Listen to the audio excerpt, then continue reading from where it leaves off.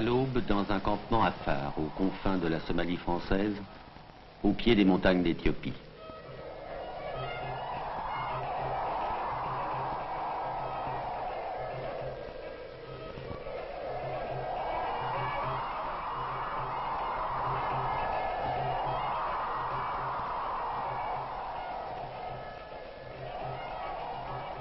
Un sous-officier ici essaye d'élever, comme on dit, le niveau de vie des populations.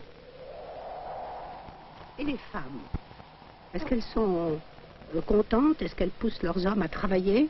Euh, oui, bien sûr, puisque quand les hommes travaillent, les femmes en ont quand même un genre de vie meilleur. Elles peuvent Oui, s'acheter. C'est ça, elles peuvent s'acheter euh, des robes. euh, ils aiment ça d'avoir des robes neuves, vous voyez. Et puis elles mangent quand même mieux, et puis ça leur permet de, je vous dis, d'avoir un train de vie meilleur. Il paraît que toutes ces femmes affaires, ou même les femmes Issa, sont ce qu'on appelle des femmes cousues.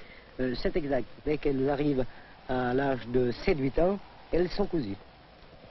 Mais euh, comment Avec du fil, des épines Eh bien, elles sont cousues avec des, des épines. Il faudrait que ce soit un, un docteur qui vous parle de ça, il vous donnerait davantage de détails. Je n'ai jamais assisté à, à une opération de ce genre. Mais enfin, d'après les renseignements que j'ai pu recueillir auprès des habitants, c'est ça. Euh, ils sont cousus avec des épines.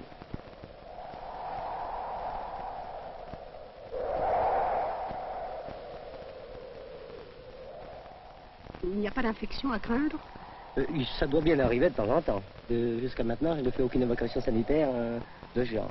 Et dans quel cas sont-elles décousues Pour le mariage, madame.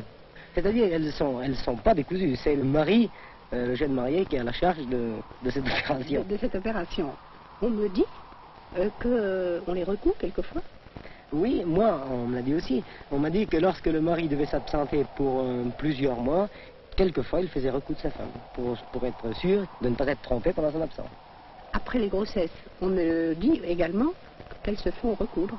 On me l'a dit aussi, ça. Vous ne je- l'avez pas vérifié. Je ne l'ai pas vérifié. Est-ce que vous estimez que cette coutume va persister? Eh bien, je crois qu'elle persistera encore longtemps. Il n'est pas impossible que les gens qui sont auprès de- des Européens, euh, dans les centres tels que Djibouti, Tadjoura, Dikil, Ali Sabia, il n'est pas impossible que ça diminue. Mais pour les, petits postes éloignés tels que Assela, Yoboki, enfin, euh, dans la brousse, je crois que ça restera encore longtemps. Ils sont quelques 30 000 à Phare ou Danakil, pasteurs nomades. Ici, Mahomet est tout-puissant. Pour eux, la France a élevé la mosquée d'Assela. Assela, centre de ce cercle désert entre tous. Voici le fort écrasé sous le soleil. Un soleil qui fait noir la peau des affaires, lesquels ne sont pas nègres de trait. Ils viennent ici régulièrement pour participer aux distributions de vivres.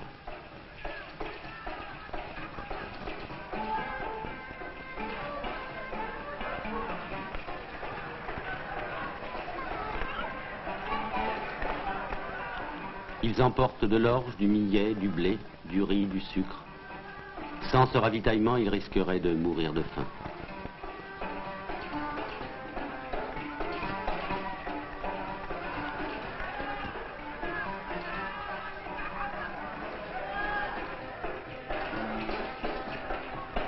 Nomades, mais organisés pour leurs coutumes selon des hiérarchies compliquées qui aboutissent quelque part à des sultans qui se distinguent à peine du commun. Mais ils sont électeurs au suffrage universel.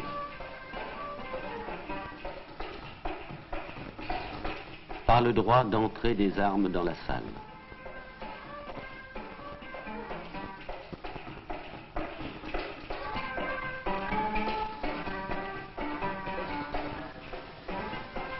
Ils votent pour des candidats, pour des programmes. Les Somalis sont dotés d'une assemblée territoriale et d'un conseil de gouvernement.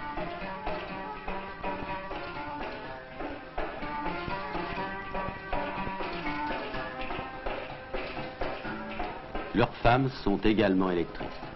Il faut bien que le progrès gagne.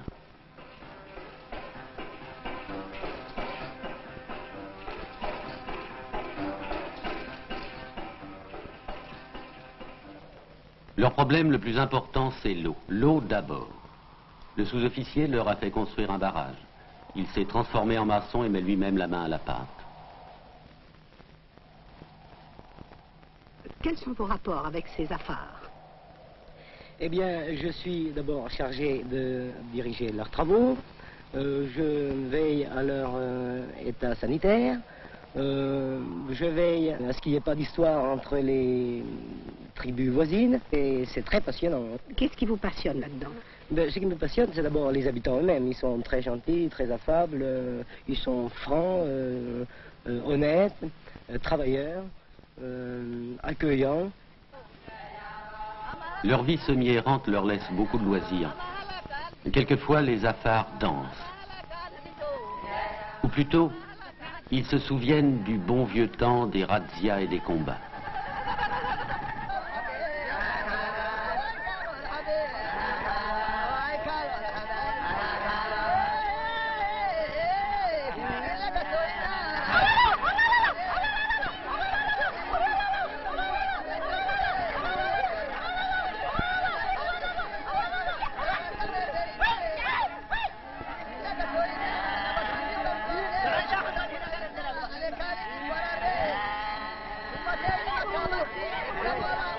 Le bonheur, c'était la victoire, c'était surtout le butin.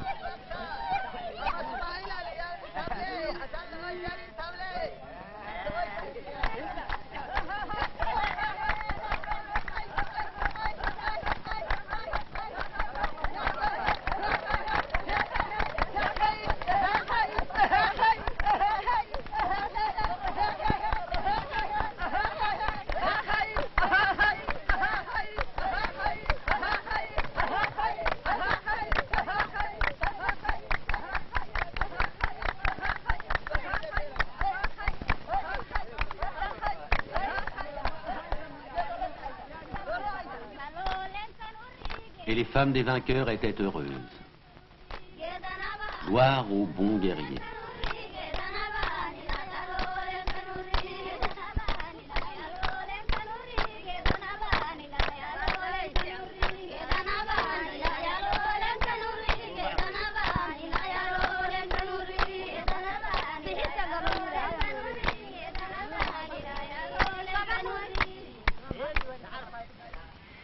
Seulement voilà, on ne se bat plus. Alors on se contente d'élever ses propres troupeaux. La tâche n'est pas facile.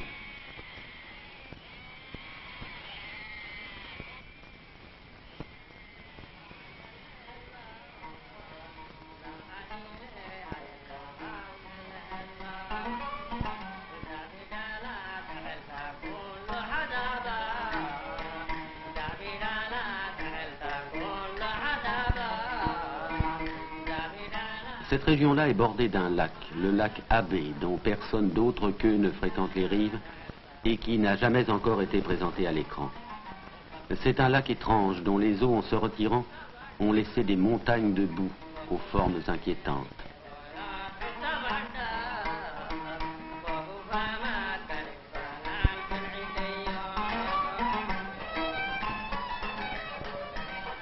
Elles sont d'origine volcanique. À l'intérieur de quelques-unes d'entre elles gargouillent des eaux bouillantes. De leurs parois fissurées s'échappent des vapeurs que l'on n'aperçoit qu'à l'aube. Le jour venu, l'impitoyable chaleur transforme toute chose et des mirages trompent les voyageurs.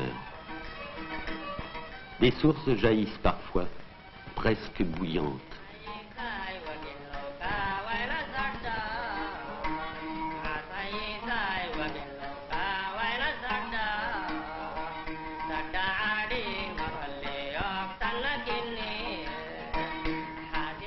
Les sauterelles qui y tombent sont instantanément cuites.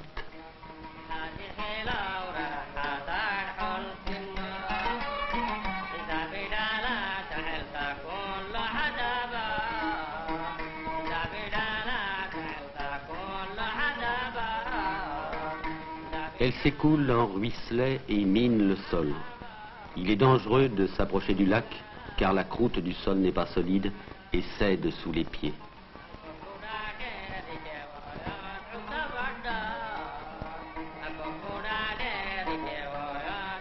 Le guide a eu de la chance, le sol a cédé, mais à cet endroit précisément, la boue molle n'était pas brûlante, sinon il aurait connu le même sort que les sauterelles. Et comme pour narguer les hommes qui continuent à vivre sur une terre aussi inhospitalière, tout un peuple rose s'ébat joyeusement dans ce décor infernal. Un peuple insouciant mais qui s'effarouche.